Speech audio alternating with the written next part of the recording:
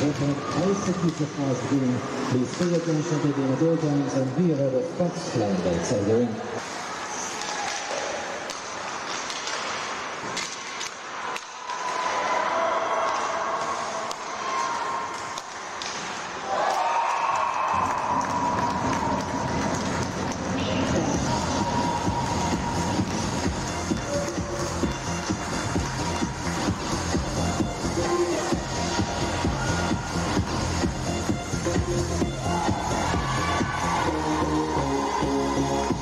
Outside the ring. Mutatja kiegészült.